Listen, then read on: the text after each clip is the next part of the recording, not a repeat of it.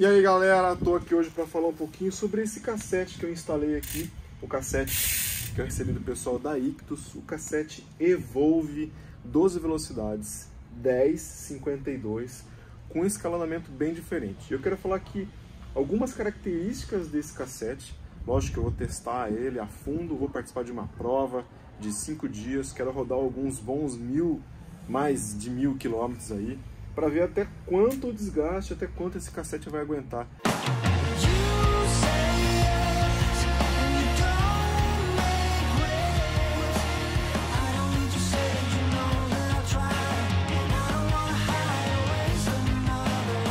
A Itus apareceu, é uma marca brasileira, todo produzido aqui no Brasil, é de produção nacional esse cassete. Então eles utilizam um produto importado, que é o alumínio, e todo usinado, e toda tecnologia e estudo foi feito aqui no Brasil desse cassete, inclusive do escalonamento. A principal diferença desse cassete, as principais diferenças, na verdade, desse cassete para o cassete da SRAM é o preço. Esse cassete é bem mais em conta do que um cassete XX1. Esse aqui, ele equivale, o Black, né? Esse aqui é o Black, tem o Black tem o Gold.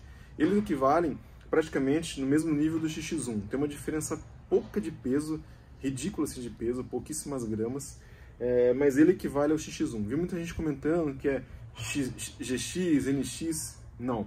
Ele equivale do XX1. O peso desse cassete, eu pesei ele com etiqueta e tudo, 383 gramas. Pouquíssima diferença do X1 e do X01, coisa de 20, 15 gramas de diferença de um para o outro. E a principal diferença desse cassete é o escalonamento. Ele é praticamente uniforme aqui o escalonamento comparado com o Isram.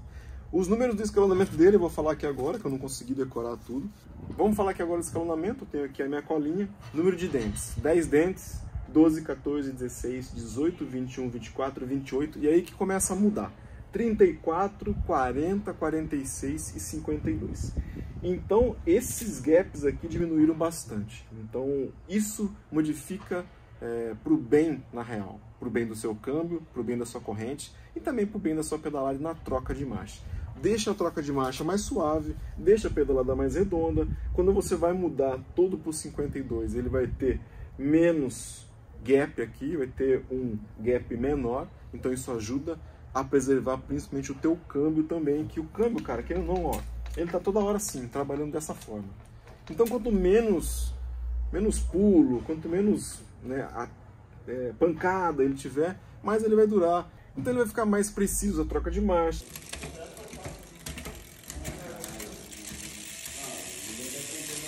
Ele vai trabalhar melhor e vai durar mais. Bom, isso foi a apresentação do Ictus. Além do, do cassete, eu coloquei as roldanas da Ictus. Eu coloquei também o cage, a parte traseira aqui, você pode ver que é pretinho, normalmente da Isra vem o prata, né, é, do câmbio X01. E também coloquei a coroa 34. É, eu vou testar todos esses produtos aqui no meu principal desafio agora do começo do ano, que é o Transantes. Serão 5 dias de mountain bike lá na Patagônia chilena.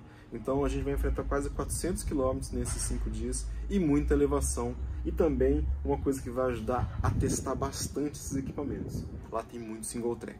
Então vai ter muita bateção e é aí que eu coloco o equipamento à prova e é aí que eu vou falar para vocês se realmente vai funcionar.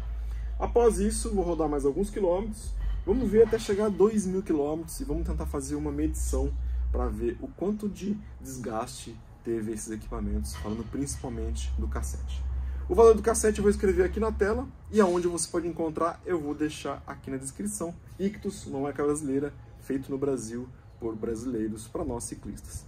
Galera, falando das diferenças, valor, escalonamento, tá? E um produto brasileiro. É, acho que isso vale muito a pena a gente dar um prestígio também. Pessoal da Ictus, muito obrigado. Vamos testar isso aqui. Agora é só pedalar. Tchau.